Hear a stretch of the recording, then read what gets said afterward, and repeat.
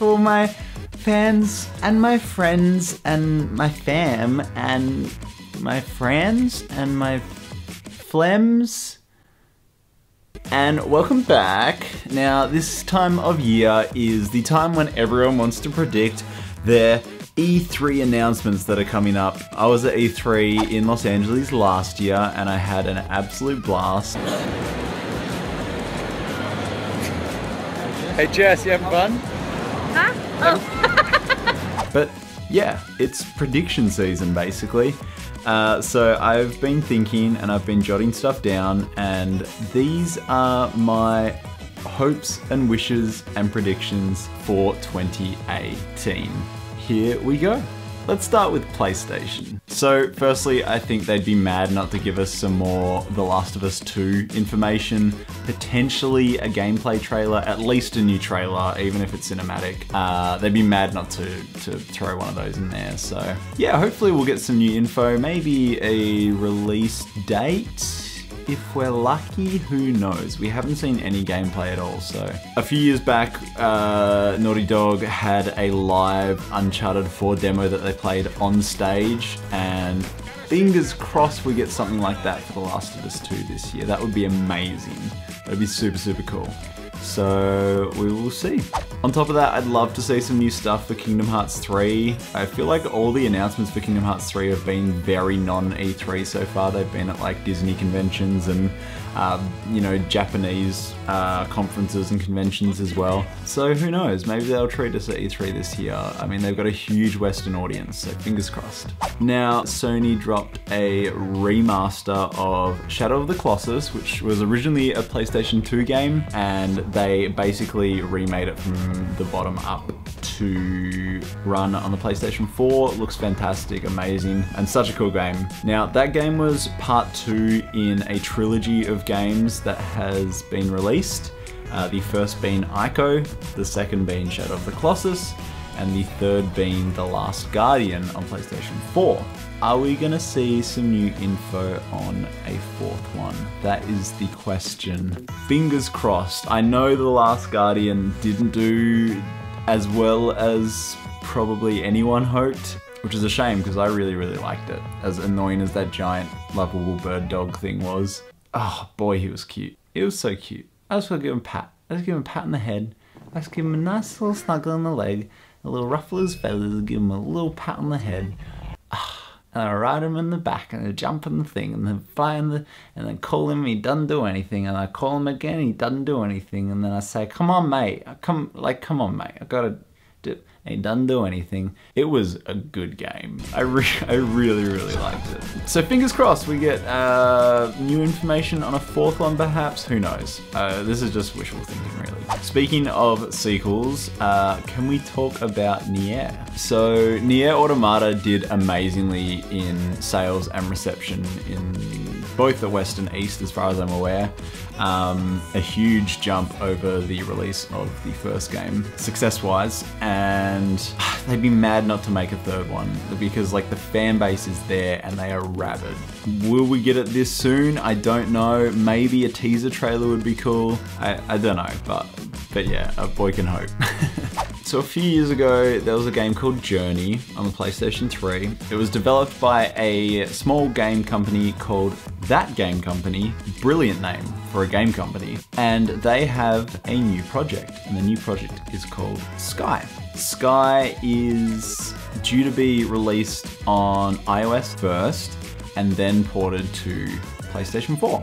And they have had uh, gameplay trailers out already quite recently, and I hear there's a beta floating around, so they've got to be close to release by now. Hopefully we'll get, yeah, a release date soon and maybe a release date for the PS4 release as well. But yeah, I'm really looking forward to that because if anyone's going to be able to pull off a follow-up to Journey, it'll be the people that made Journey.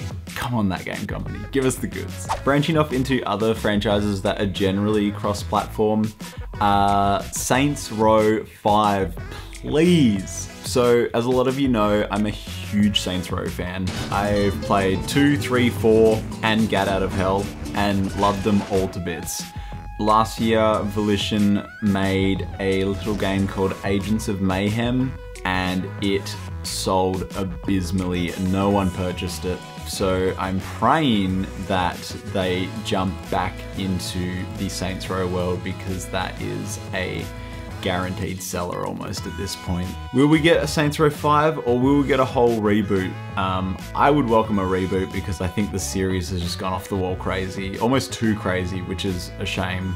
But yeah, I mean, for me, Saints Row 2 is still like the best one. Even Saints Row 3 was pretty fun for the most part. But yeah, it'd be good to see them go back to their roots uh, in a Saints Row 5 or Saints Row reboot. Fingers crossed. Psychonauts 2 has been a game that's been floating around. Uh, it was crowdfunded on a website called Fig, and we've had updates on production as they've been making them and releasing them themselves. Um, Double Fine have been quite open with us about the production, but who knows, they might give us a whole bunch of new stuff at E3. I mean, that's the place to get noticed, so yeah, it'd be cool to see some new stuff from them. Maybe a gameplay trailer or a story trailer, because we don't know much about the story or any other characters at all, so that'd be cool. That'd be cool. Now, anyone that knows me well will know that I am a huge fan of the Tales of series. As part of my collection, I actually own all the English language releases of the games. And as far as I know, all the collector's editions that were released in Australia as well. I'm a huge fan and I've played uh, quite a few of them as well. And they are due for a new one. They can't be far away. I don't know if they'll announce anything at E3, the reason being that two days after E3 finishes, uh, Tales Fest kicks off in Japan, which is a yearly festival dedicated solely to the Tales of franchise. So that's usually where they'll announce new Tales games. And uh, yeah, they're definitely due to at least announce a new one. It'd be cool to see one on the Switch as well. Even if it's like a port of an old one, I'd take it. I'd love to play one of the later Tales games on a handheld, that'd be amazing. So fingers crossed. Speaking of the Switch, when are we gonna get a Ridge Racer for it? What's happening there? Ridge Racer is like the staple launch game for like every console ever.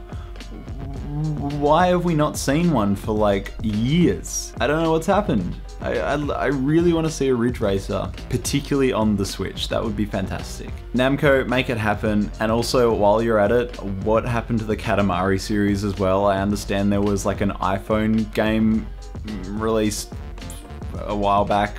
But apart from that, I mean, we haven't seen anything since the Vita game. It's like one of my favorite series ever. I, ah, oh, oh, I've got to make a video about how much I love Katamari one day. It, it, it's coming, it's coming. Uh, again, on the Switch would be amazing. I would love to play Katamari on the Switch. And it'd be a perfect console for it. I mean, it's just, like, you can put quirky stuff on there and people buy it, people lap it up. It's just fantastic, so fingers crossed. Come on, Namco. Give us the goods. Give us some Katamari. Give us some King of All Cosmos. Give us some weird. Give us some color. Ah, give us some of that funky music.